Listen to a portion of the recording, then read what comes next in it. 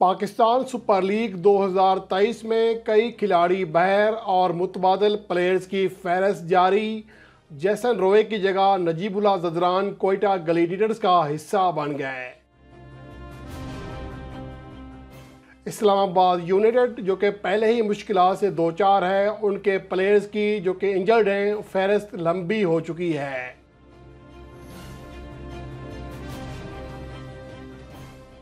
Pakistan super league 2023 के matches जारी हैं और आज लाहौर में मेज़बान लाहौर और कोयटा ग्लेडिएटर्स का मुकाबला होगा। इसके हवाले से अगर हम बात करें, गो के बहुत सारी जो चेंजिंग्स हैं, वो आ चुकी हैं और इन चेंजिंग्स के हवाले से अगर हम बात करें तो गुज्त दो दिन से अपडेट्स आ रही हैं और तमाम को हम यकजा करके आपके लिए तफसील पेश कर रहे हैं, जिनमें जैसन रोए जो कि बड़ी फॉर्म में भी नहीं थे और कोयटा ग्लेडिएटर्स की नुमाइंदगी कर रहे थे अब वो वापस चले गए हैं, दौरा बांग्लादेश के लिए, इंग्लैंड के स्क्वाड में शामिल हो गए हैं और सात मार्च तक ना सिर्फ़ वो, बल्कि जेम्स वेंस जो कि कराची किंग्स की नुमाइंदगी कर रहे थे, वो अपनी टीम को दस्तियाब होंगे और पाकिस्तान सुपर लीग से गैर हाजिर रहेंगे।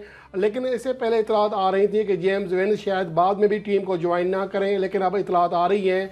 अगर ज़रूरत पड़ी तो जेम्स वेंस सात मार्च के बाद पाकिस्तान सुपर लीग में कराची किंग्स को दोबारा ज्वाइन कर लेंगे और एडम रोसिंगटन जो हैं, गुजशत मैच खेले हैं। रोसिंगटन ने की जो कारकर्दगी रही है South Africa T twenty league में, वो शानदार रही थी। अपनी टीम के दूसरे टॉप स्कोरर थे और गुजशत मैच में गो के वो बड़ा आगाज़ नहीं ले सके, बड़ा स्कोर नहीं कर सके, लेकिन आगाज़ अच्छा लिया था।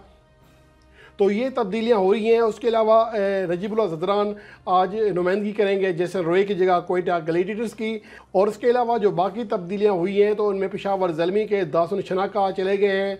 जो कि न्यूजीलैंड के ख़िलाफ़ सीरीज़ के लिए अपनी टीम को दस्तियाब होंगे और उनको स्क्वाड में शामिल किया गया था।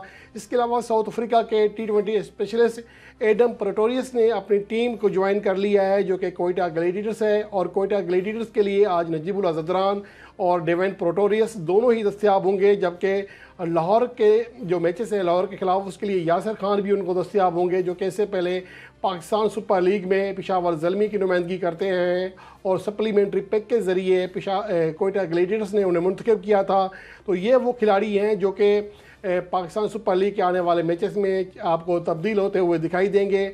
और इसके अलावा इस्लामाबाद यूनाइटेड, जो कि कदर मुश्किल से भी दो चार है, उसके जो प्लेयर्स हैं, वो अनफिट हो गए हैं। गो के अलेक्स हेल्स आ चुके हैं, लेकिन तैमल मिल्स जिसके बारे में कहा जा रहा था कि वो अलेक्स हेल्स के साथ ही टीम को ज्वाइन कर रहे हैं।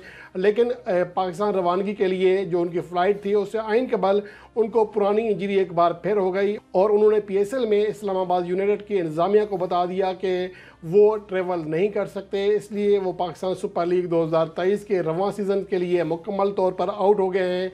अब देखना ये है कि इस्लामाबाद यूनाइटेड उनकी जगह किसी मुतबादल प्लेयर का ऐलान करता है या नहीं करता।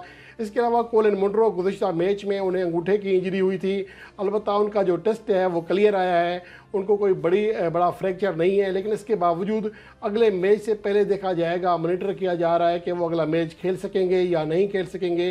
अलबत्त इम्कान यही है कि कोलिन मंड्रो अगला मैच खेल सकेंगे।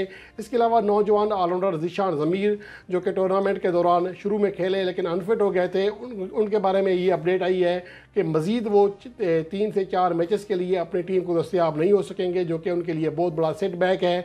और इसके अलावा ऑलराउंडर जो है, मोहम्मद वसीम जूनियर, उसके बारे में भी कि यही कहा जा रहा है कि उन्हें फ्लू है और कदरे हल्का सा फीवर भी है, जिसकी वजह से हो सकता है कि वो कम अज़ कम मज़ीद एक मैच तक आराम करें, लेकिन आज का जो जो अगला मैच होगा उनका, उसके बारे में ये कहा जा रहा है कि अगर तब तब तक उनकी जो सेहत है वो बेहतर हो गई तो वो भी खेल सकेंगे। यूँ इंजरीज़ ने इस्लामाबाद यूनाइटेड को घेरा हुआ है। उनके कई प्लेयर्स जैसे कि शादाब खान हैं या मोहम्मद वसीम जूनियर हैं वो उस तरह की कारकर्दगी रवा सीज़न में नहीं, अभी तक नहीं दिखा सके, जिसके लिए शायक क्रिकेट और उनके मदा उनका इंतज़ार कर रहे हैं। लेकिन इसके साथ साथ इंजरीज़ का मसला भी इस्लामाबाद यूनाइटेड को घेरे हुए है।